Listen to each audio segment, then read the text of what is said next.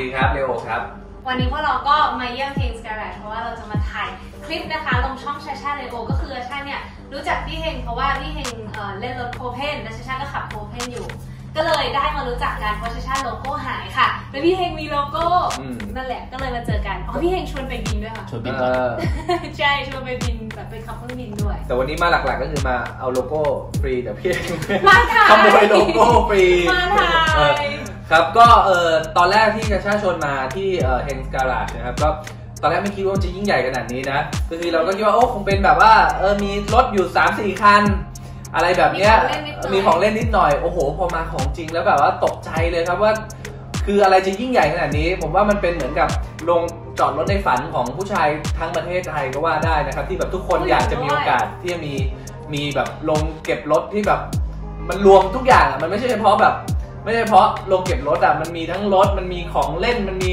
มันเป็นเหมือนแบบห้องที่เติมเต็มความฝันวัยเด็กของของใครหลาย ๆ คนได้เลย ถ้าได้ถ้าได้มาที่นี่อะไรอย่างเงี้ยครับจริง เพราะว่านอกจากการมีรถรถมันก็จะแมนแมนๆเท่ๆใช่ป่ะมันมีของเล่นเอาไว้ตัดแล้วก็ทำให้มัน balance ด้วยเวลาแบบถ่ายเนี่ยคือแบบละสายตาไม่ได้แล้วก็จะมองนู่นมองนี่ อย่างข้างหลังนี่ก็คือชอบมากคืออยากจะยกกลับไปไว้ที่บ้านหมดเลยนะยังเอาไปหมดเลยแต่ว่าพี่เองบอกว่าไม่เป็นมีกล้องวงจรปิดหายไป ทุกมุมหนึ่งอันเอาไปเลยหนึ่งหายไปหนึ่งอันพี่เองจำได้หมดว่าตำแหน่งอยู่ตรงไหน คือแบบคือคือดูดีอะ แล้วชาก็แบบเป็นคนชอบของเล่นเลยค่ะแล้วก็คือรถอะชาก็ชอบชอบรถจากภายนอกคือชาก็ไม่ได้รู้เรื่องรถเยอะเนอะถ้ามันน่ารักชาก็ชอบ แต่นี่คือมีของเล่นด้วยคือมันว้าวมาก แล้วก็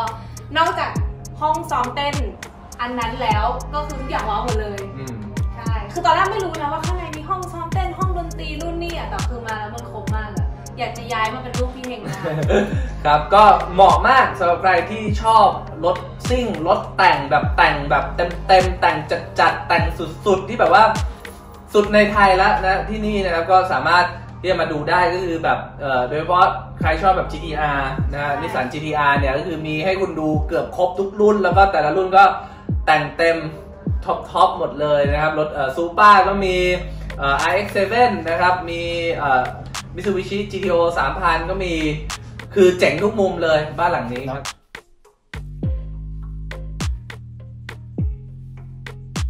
ก็รถรถที่ชาขับอยู่ปัจจุบันนะคะ คือจริงๆชาขับโอเพนแต่ก่อนนะเป็นแมคควีนเป็นแรปเป็นไลนิ่งแมคควีนเลย แต่ว่า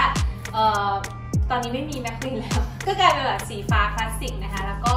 เอ่อชอบมาก มันน่ารักมาก มันเป็นรถที่แบบเหมือนเหมือนพี่เฮงชอบ คือมันเป็นรถที่ไม่ ไม่ได้หาได้ทั่วไปบางคนมองคนแบบเฮ้ยรถอะไรแล้วก็มาถามเรา แล้วก็เราก็สามารถเริ่มคุยเรื่องรถได้อะไรเงี้ยแล้วก็ปัจจุบันก็ขับจิมนี่ค่ะซูซูกิจิมนี่ที่เข้ามาในไทยมี 90 คัน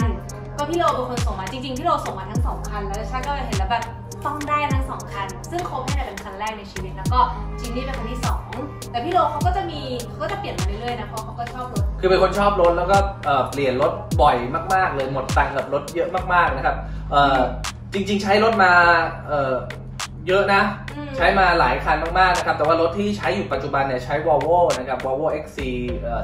40 นะครับ ก็ ก็คือทางทางรถแปลก ทางรถแนวๆ เนี่ย ก็จะให้ชาชาเขาใช้ไป ส่วนผมก็จะใช้รถ เอาไปรถแบบ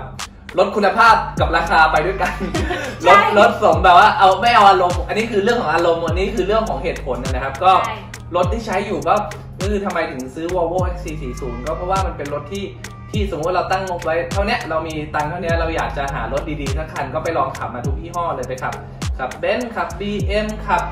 ขับออดี้ขับ Toyota Honda คือ Toyota คือขับมาหมดทุกยี่ห้อแล้ว แล้วเราก็เปรียบเทียบว่าถ้าในราคาเท่าเนี้ยที่เราซื้อไหวเนี่ยรถคันไหน